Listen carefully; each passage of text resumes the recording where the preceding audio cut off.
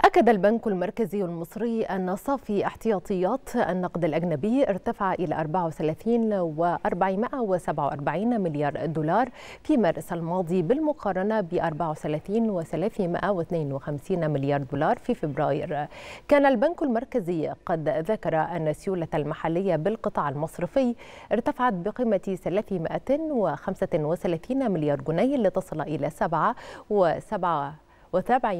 و737 تريليون جنيه بنهاية يناير 2023 مقابل 7 و402 تريليون جنيه بنهاية ديسمبر 2022